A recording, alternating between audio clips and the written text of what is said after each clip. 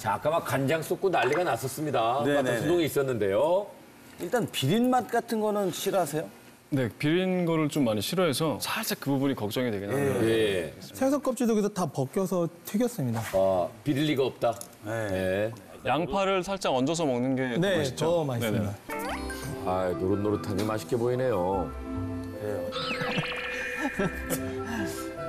조교 아니랄까 봐.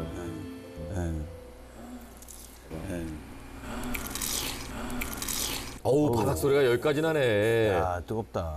네.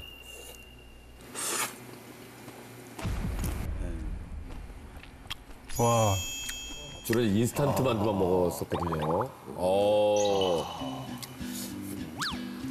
어우, 잘 드십니다. 생선의 비린 맛은 없나요? 아, 전혀 없어요. 전혀 없어요, 전혀 없습니다. 다행입니다. 걱정했었는데. 저도 사실 그걸 너무 걱정을 했는데 네. 양파의 상큼함이 만두에 약간 뭐 튀긴 거에 대한 느끼함을 좀 잡아주는 것 같은 느낌? 만두 드시니까 평을 이렇게 제대로 하시네요. 또. 그죠? 좋아하시니까. 좋아하는 만두를 해서. 네. 원래 별명이 진만두래요. 진실라서? 진실라서. 예, 진만두. 야, 잘 드시네요, 만두는. 어, 좋아. 네. 기가 막힙니다. 아, 기가 막힙니까? 만약에, 만약에 이 음식을 이선균 씨가 드셨다면 어떻게 얘기를 할까요? 자, 이선균 씨.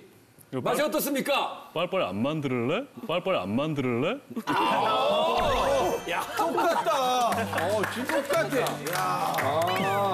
야 진짜, 진짜 닮았네, 목소리가. 와. 어, 진짜 맛있어요. 잘 먹는구나. 만두 잘 드시네. 입맛에 맞으시는 그러니까 홍- 형이 확실하게 자기가 좋아하는 건 막 엄청 먹더라고요. 만두 세계를 지금 한 1분 몇 초 만에 먹는 건 처음 봤어요.